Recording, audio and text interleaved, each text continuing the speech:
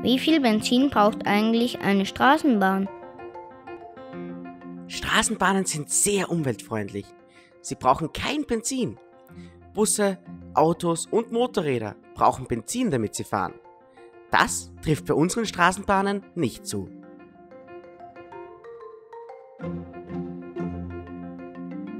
Vielleicht hast du schon mal was von Elektroautos gehört oder bist sogar selber mit einem mitgefahren. Die werden mit Strom angetrieben, gleich wie unsere Straßenbahnen. Ein Elektroauto muss man immer wieder aufladen, mit einem großen Stecker. Das ist bei unseren Straßenbahnen nicht so. Denn wenn du genau hinschaust, siehst du, dass über den Gleisen die Oberleitungen verlegt sind. Und diese werden mit den großen Bügeln am Dach der Straßenbahn, den sogenannten Stromabnehmern, abgenommen und kommen so in die Straßenbahn. Damit kann diese dann fahren. Fragt den Hansi, eure Holding Graz.